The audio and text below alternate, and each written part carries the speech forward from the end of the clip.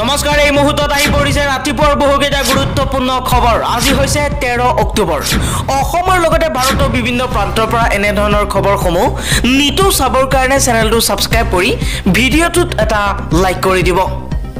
এই মুহূৰ্তত জনাইছোঁ এটা ডাঙৰ ৰাজ্যত চলি আছে বিভিন্ন চিণ্ডিকেট যাৰ ফলত ৰাজ্যবাসীৰ মূৰত পৰিছে মূল্য বৃদ্ধিৰ ৰাম টাঙোন। ৰাজ্যৰ দলৰ সভাপতি অখিল গগৈয়ে এইবাৰ মূল্য বৃদ্ধিক লৈ সৰব হৈছে মুখ্যমন্ত্ৰী ডক্টৰ হিমন্ত বিশ্ব শৰ্মা। ৰাজ্যৰ বিজেপি চৰকাৰক লৈ সৰব হোৱা দেখিবলৈ পোৱা গৈছে। আৰু বিধায়ক অখিল গগৈয়ে কৈছে ৰাজ্যত এতিয়া বিভিন্ন ধৰণৰ চিণ্ডিকেট চলি আছে। যাৰ বাবে ৰাজ্যবাসীৰ মূৰত এতিয়া মূল্য বৃদ্ধিৰ ৰাম টাঙোন। পৰৱৰ্তী খবৰটো হৈছে অসম প্ৰদেশ কংগ্ৰেছৰ সভাপতি ভূপেন বৰাই ভয় নকৰে বিজেপি চৰকাৰক। আজি বিজেপি চৰকাৰৰ বিৰুদ্ধে কেইবাটাও মন্তব্য কৰা পৰিলক্ষিত হৈছে। বিজেপিৰ বিৰুদ্ধে মুখ্যমন্ত্ৰী ডক্টৰ হিমন্ত বিশ্ব শৰ্মাৰ বিৰুদ্ধে প্ৰদেশ কংগ্ৰেছৰ সভাপতি ভূপেন বৰাই কৈছে যে মোক এতিয়া এনকাউণ্টাৰ কৰিবলৈ লৈছে কিন্তু মই কাপুৰু নহয়। মই ভয় নকৰোঁ বিজেপিক। এইবাৰ অসম প্ৰদেশ কংগ্ৰেছৰ সভাপতি ভূপেন বৰাৰ জীৱনৰ প্ৰতি ভাবুকি অহা বুলি মন্তব্য কৰিছে স্বয়ং অসম প্ৰদেশ কংগ্ৰেছৰ সভাপতি ভূপেন বৰাই।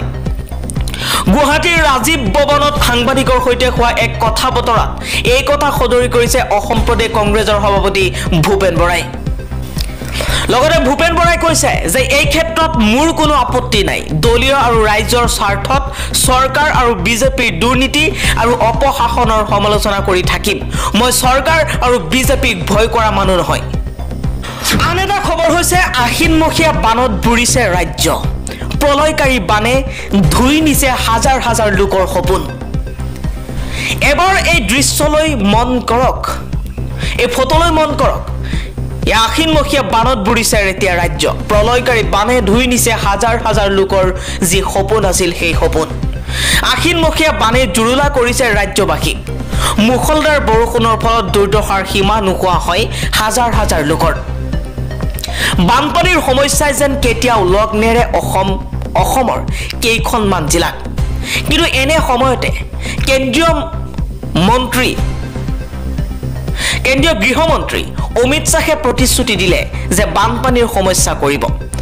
বানপানীৰ সমস্যা অহা পাঁচ বছৰৰ ভিতৰত কৰা হ'ব। কিন্তু পাঁচ বছৰ দহ বছৰ বাৰ বছৰ বিছ বছৰ পঁচিছ বছৰ হৈ গ'ল সত্তৰ বছৰ হৈ গ'ল আজিলৈকে। বাস্তৱ ক্ষেত্ৰত সম্পূৰ্ণৰূপে বানপানীৰ সমস্যা সমাধান কৰিব নোৱাৰিলে কংগ্ৰেছেই হওক বিজেপিয়েই হওক। আহিনমহীয়া হোৱা প্ৰলয়কাৰী বানৰ ফলত ৰাজ্যৰ তিনিখন জিলাৰ আঠ হাজাৰ তিনিশ আঠসত্তৰ শিশুসহ প্ৰায় চৌত্ৰিছ হাজাৰ লোক বানপানীত ক্ষতিগ্ৰস্ত হৈছে। প্ৰথম বানপানীত হৈছিল লাখ লাখ মানুহ আৰু দ্বিতীয় বানপানীটো আমি পৰিলক্ষিত আপোনালোকক দেখুৱাইছিলোঁ পৰিলক্ষিত হৈছিল যে হাজাৰ হাজাৰ লাখ লাখ মানুহ বানৰ কবলত পৰিছিল আৰু তৃতীয় বানপানীৰ ফলত এতিয়া কেইখনমান জিলাত এতিয়া যথেষ্ট ক্ষতি কৰা পৰিলক্ষিত হৈছে। বিগত দুদিন ধৰি অসম আৰু অৰুণাচল প্ৰদেশৰ কিছু অংশত অবিৰত বৰষুণৰ ফলত বহু নৈৰ জলপৃষ্ঠ বৃদ্ধি পোৱাৰ ফলত ধেমাজি ডিব্ৰুগড় আৰু লখিমপুৰৰ জিলাৰ ছয়চল্লিছখন গাঁও বানপানীৰ সম্পূৰ্ণৰূপে বুৰিছে। কেৱল ধেমাজি জিলাতে মুঠ পোন্ধৰ হাজাৰ চৌৰাশীজন লোক বানৰ বানত আক্ৰান্ত হোৱাৰ বিপৰীতে বিপৰীতে লখিমপুৰত চৈধ্য হাজাৰ আঠশ পঁচানব্বৈজন আৰু আৰু লগতে লখিমপুৰত লখিমপুৰত চৈধ্য হাজাৰ আঠশ পঁচানব্বৈ আৰু ডিব্ৰুগড়ত তিনি হাজাৰ আঠশ সাতাৱন্নজন লোক বানৰ কবলত পৰিছে। বানপানীৰ ফলত ইতিমধ্যে তিনিখন জিলাৰ তেৰ হাজাৰ হেক্টৰ শস্যভূমি ডুব গৈছে। ধেমাজি জিলা প্ৰশাসনে বানাক্ৰান্তসকলক অঞ্চলত ছটাকৈ সাহায্য বিতৰণ কেন্দ্ৰ স্থাপন কৰিছে। আনহাতে ধেমাজি আৰু লখিমপুৰ জিলাত বানপানীৰ প্ৰায় এঘাৰ হাজাৰ পোহনীয়া জন্তু ক্ষতিগ্ৰস্ত হৈছে। পৰৱৰ্তী খবৰটো হৈছে এটা আন্তঃৰাষ্ট্ৰীয় খবৰ এই মুহূৰ্তত জনাই আছোঁ। যদি ৰাছিয়াই ইউক্ৰেইনৰ ওপৰত পাৰমাণৱিক আক্ৰমণ কৰে তেন্তে আমেৰিকাই কি কৰিব? আমেৰিকাই কি পদক্ষেপ গ্ৰহণ কৰিব?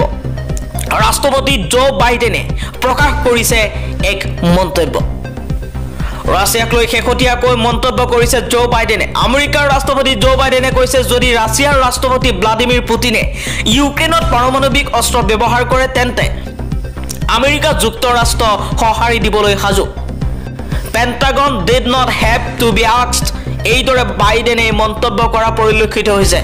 অৰ্থাৎ এই মন্তব্যৰ পৰা পৰিলক্ষিত হয় এই মন্তব্যৰ পৰা আমি বুজিব পাৰোঁ যে যদি ৰাছিয়াই ইউক্ৰেইনৰ ওপৰত পাৰমাণৱিক বোমাৰে আক্ৰমণ কৰে তেতিয়াহ'লে তাৰ বিপৰীত ছবি দেখিবলৈ পাব আমেৰিকা যুক্তৰাষ্ট্ৰই ৰাছিয়াৰ ওপৰত।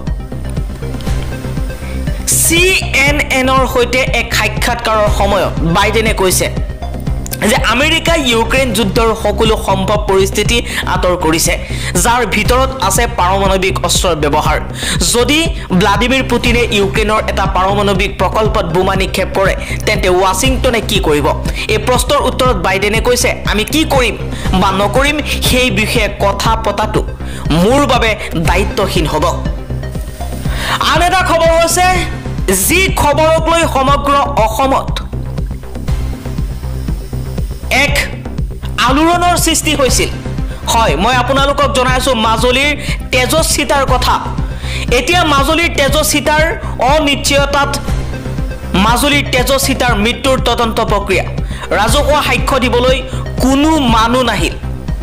অনিশ্চয়তাত এতিয়া মাজুলীৰ তেজস্বিতাৰ মৃত্যুৰ তদন্ত প্ৰক্ৰিয়া কিয়নো ৰাজ্য চৰকাৰৰ বাবে অৰ্থাৎ তেজস্বিতাৰ সাক্ষ্য দিবলৈ ৰাজহুৱা সাক্ষ্য দিবলৈ কোনো মানুহ নাহিল। ৰাজহুৱা সাক্ষ্য দিবলৈ অন্তিম দিনটোতে অন্তিম দিনটো আছিল যোৱাকালি আৰু যোৱাকালি কোনো ধৰণৰ মানুহ তেওঁৰ বাবে সাক্ষ্য দিবলৈ নাহিল। ইয়াই নেকি তেজস্বিতাৰ প্ৰতি মৰম? হয়। আমি সংবাদ মাধ্যমত দেখা পাইছিলোঁ বিভিন্ন ধৰণৰ মানুহে বিভিন্ন ধৰণৰ প্ৰতিক্ৰিয়া ব্যক্ত কৰিছিল। ৰাজনৈতিক নেতাৰ পৰা বিৰোধী নেতালৈকে প্ৰত্যেকজন নেতাই তেজস্বিতাৰ মৃত্যু তদন্তৰ প্ৰক্ৰিয়া আৰম্ভ কৰিবলৈ বাৰম্বাৰ জনাইছিল দাবী জনাইছিল। কিন্তু এইবোৰ দাবী জনোৱাৰ পাছতো তেজস্বিতাৰ সাক্ষ্য দিবলৈ কিন্তু কোনো মানুহ নাহিল। যাৰ বাবে অনিশ্চয়তাৰ মাজলৈ এতিয়া তেওঁৰ এই মৃত্যুৰ তদন্ত। পৰৱৰ্তী খবৰটো হৈছে পুনৰবাৰ ৰাজ্যত ঘোষকাণ্ড। উৎকোচ লৈ হাতেলোতে গ্ৰেপ্তাৰ আৰক্ষী চক্ৰ পৰিদৰ্শক Achyut Dutta P S O' Diganta বৰুৱাকো গ্ৰেপ্তাৰ কৰা হৈছে। এই মুহূৰ্তত জনাইছোঁ এটা ডাঙৰ খবৰ পুনৰবাৰ ঘোষখোৰ বিষয়াৰ বিৰুদ্ধে চলিছে দুৰ্নীতি নিবাৰক শাখাৰ অভিযান। এইবাৰ অভিযানত অভিযান অভিযান চলিছে খাৰুপেটীয়াৰ ঘোষখোৰ আৰক্ষীৰ বিৰুদ্ধে। উৎকোচ লোৱাতেই দুৰ্নীতি নিবাৰকৰ জালত পৰিছে অসম আৰক্ষীৰ এগৰাকী চক্ৰ পৰিদৰ্শক আৰু এগৰাকী দেশৰক্ষী জোৱান। খাৰুপেটীয়া আৰক্ষী চক্ৰৰ বিষয়া পৰিদৰ্শন চক্ৰ পৰিদৰ্শক ঐচ্যুত দত্ত আৰু তেওঁৰ পি এছ অ' দিগন্ত বৰুৱাক গ্ৰেপ্তাৰ কৰা হৈছে। দুৰ্নীতি নিবাৰক শাখাৰ এটা দলে দহ হাজাৰ টকা উৎকোচ লৈ থকা অৱস্থাতে হাতেলোতে পেলাই ঐচ্যুত দত্ত আৰু দিগন্ত বৰু বৰুৱাক। এই মুহূৰ্তত মই আপোনাৰ মুহূৰ্তত মই আপোনালোকক জনাইছোঁ জি পি সিঙৰ এটা টুইট। আৰু জি পি সিঙে কৈছে যে দিগন্ত বৰুৱা আৰু পি এছ গ্ৰেপ্তাৰ কৰা হৈছে। দুৰ্নীতি ঘোষখোৰ আৰক্ষী বিষয়াক আৰু হাতেলোতে ধৰং ডিষ্ট্ৰিক্টৰ পৰা। আটক কৰিছে পি এছ অ' আৰু এছ আই দুয়োজনকে।